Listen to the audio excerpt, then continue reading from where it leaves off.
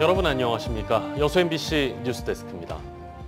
여수 경제를 뒷받침하고 있는 관광 산업이 예전 같지 않습니다. 연관 업종들이 타격을 입으면서 여수 관광에 변화가 필요하다는 목소리가 커지고 있는데요. 관광 전문가들은 여수의 상황에 대해서 어떻게 생각하는지 문형철 기자가 들어봤습니다. 올해 1월부터 6월까지 여수 주요 관광지의 입장객은 550만 명. 지난해 같은 기간보다 4%가량 늘었습니다.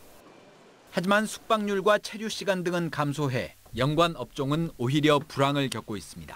주말 같은 경우에는 그래도 어지간한 업소들이 거의 만실됐었거든요. 지금은 한 50% 정도가 만실 찰까요? 여수가 전국적인 관광지로 부상한 건 엑스포가 열렸던 2012년.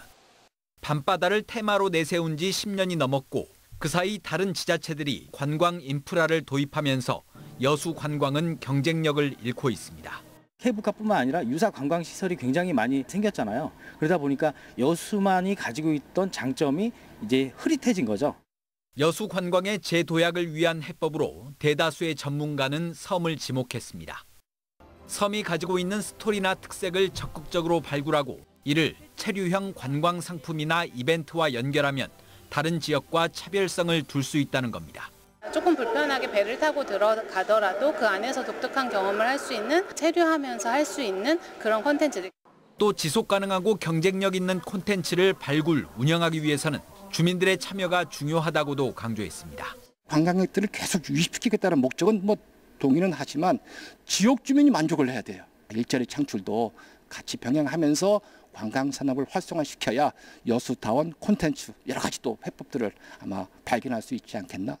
빠르게 변화하는 관광 트렌드에 대응하기 위해 강진과 해남, 영암이 연계 관광 프로젝트를 시작한 것도 여수에 시사하는 바가 적지 않습니다.